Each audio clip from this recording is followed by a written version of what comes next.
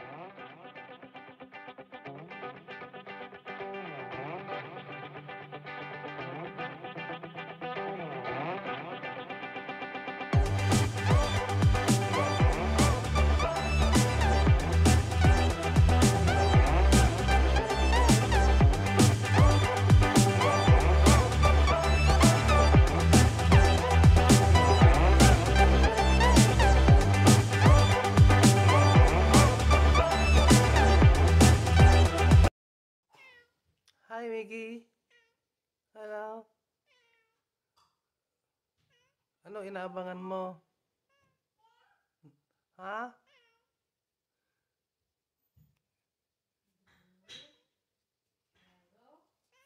Hmm?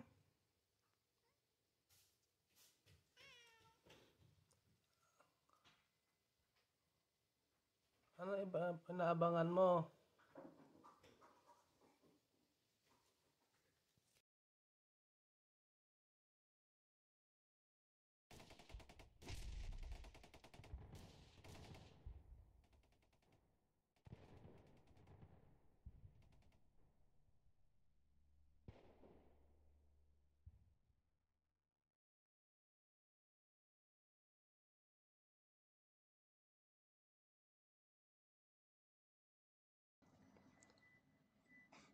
Ito. Ito yung isdang binigay ni Paul Artati galing kay Francis Leo Marcos.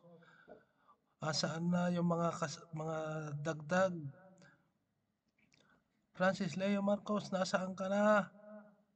Kailangan namin ng pagkain. Wala, inaantay namin, inaantay namin ang dagdag ng isda na to. Nasaan ka na? Magpakita na. Balita ko, naka, hinuli ka ng NBI. Bakit ka hinuli? Marami pang nagugutom. Marami pang nagugutom. Francis Leo Marcos. Gutom na kami. Ilabas niyo na si Francis Leo Marcos. Oh, so, so.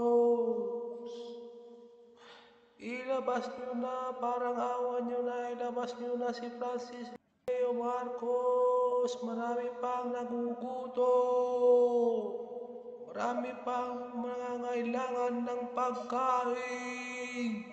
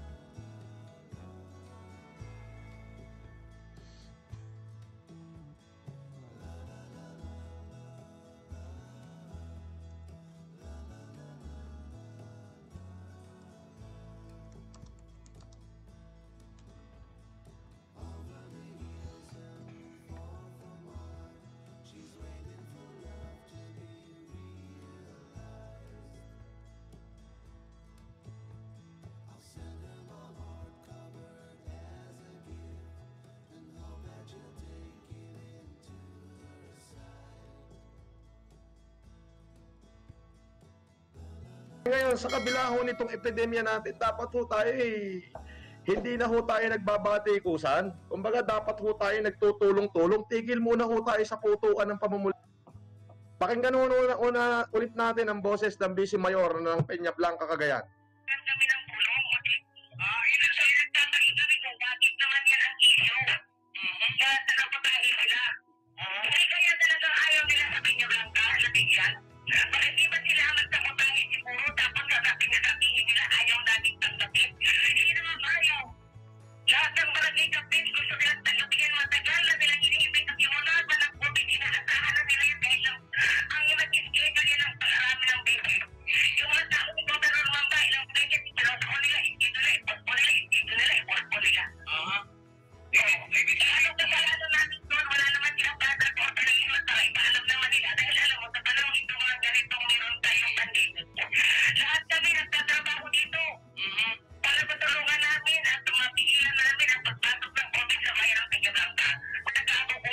much.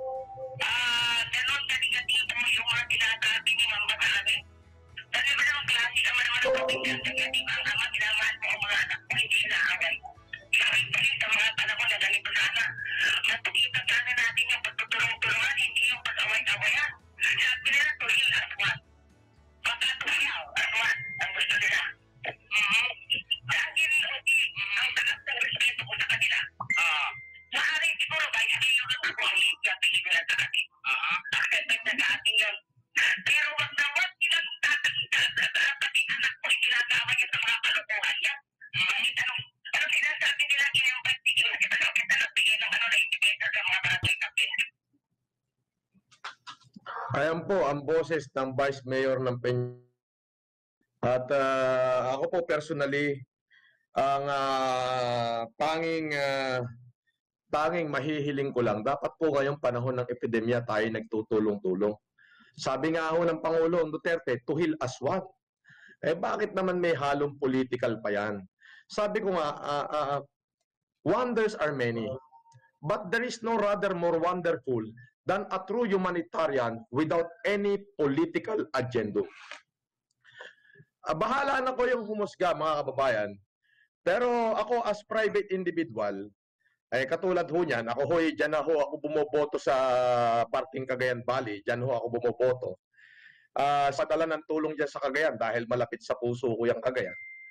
Ngayon, ang sa akin, parang nasasaktan ho ako na nakikita na ang isang lalawigan ay nagkakawatak-watak dahil sa political agenda. Hindi ba ho ba pwedeng tapusin muna natin tong COVID bago tayo magnaknakan? Ang tanging pakiusap ko lamang po sa lahat ng namumuno dyan sa Cagayan, magtulungan ho tayo, huwag na ho natin tong lagyan ng kulay politika pa. Ha? Eh, hindi ko pa ho narinig ang panig ng gobernador. Pero sana naman po, dito sa mga narinig ko, ay sana itigil muna ho natin yan. Itigil muna ho natin yan, saltikan natin ganyan. Unang-una nga naman, sino ba naman ho ang tatanggi sa tulong na isang daan libo? Di ho ba? Ay nung humingi ho sa akin ng tulong ang ikatlong distrito ng Cagayan, hindi ho ako nagtatubili, nagpadala ako ng 15 tonelada. Nung humingi ho ng ah, ayuda sa akin ng ah, DSWD Region 2, Antimano'y nagpadala ako ng 10 tonelada. At na-appreciate ho nila. Ano pa kaya ho yung 100,000 per barangay ang hindi ma-appreciate yan? Sana ho, ano, bago natin sirain yung isa't isa, pwede ba pagkatapos na lang nitong COVID at saka tayo magbakbakan? Sa ngayon ho, kailangan natin sundin ang order ng ating Pangulong Rodrigo Duterte na dapat tayo to act as one and to heal as one. Paano tayo mag-heal as one? Eh kung tayo tayo mismo ay hinahaluan natin ng kulay politika itong ating ginagawang pagtulong. Di ba? Ako personal, ah, siyempre pamilya ko ho yung tinatamaan dahil ho yung ninong at ninang ko ay hindi ko lang naman ho ninong at ninang yan eh. Tsahin ko ho yung babae eh. Nasasaktan din ho ako. Kumbaga. Pero hindi naman ho dahil kapag anak ko sila, ay kakampihan ko na sila. Ako po, bago ko po inere ang boses ng, ng Vice Mayor ng Peña Blanca, sa personal knowledge ko lamang po, personal knowledge ko lang, ay napakabuti ho ng mga yan. Mahal ho sila ng bayan ng Peña Blanca. Mahal ho sila. Eh, di piniro ko pa. Sabi ko, ah, ganon. Napakalaki ng Cagayan Valley. Yan lambak ng Cagayan, ang number one producer ng bigas sa buong Pilipinas. Mawawalan kayo na isasaing. Pabiro. But at the end of the day, sinabi ko kay Perla, sige, maglabas ka ng 15 tonelada para dyan sa strito. Magbigay ka ng 5 tonelada para sa Santa Teresita. Ah. Magbigay ka ulit ng 10 tonelada para dyan sa sa bayan ng ah, sa DSWD ng Region 2, which is dyan sa Tugigaraw. Ah, sa DSWD. At tinanong ko po ang Peña Blanca, sabi ko sa ninong at ninang ko, may bigas ba kayo dyan? Ang sabi niya, anak, meron kami dito. Kami nang bahala dito, intindihin mo na yung iba. Dito sa Peña Blanca, may bigas pa naman kami. Kami nang bahala sa mamamayan. Sabay-sabay hong namigay. At commercial rice ho yung pinamimigay ko. Hindi ho ko namigay ng NFA. Lahat ho ng pinamigay ko, minimum ho, dinorado. eh ngayon, alam naman ho natin na hindi karakaraka kaagad darating yung ayuda ng gobyerno dahil syempre marami hong tao dyan. So, ako na may huy tuloy-tuloy sa pagtulong. Aha. Kaya lang bilang sa akin, bilang anak, ay masakit ho sa akin na nilalapastangan ng aking ina. Si yung mag-asawang Taginod po, yung Mayor Washington at yung Vice Mayor Marilyn, eh pangalawang ina ko ho yan. Bukod sa mga ninong at ninang ko yan, kamag-anak ko po yan. Yang babae. Kaya ako ho nasasaktan. Bakit na lang ganun? Tumutulong na lang kami, sinasaktan pa kami.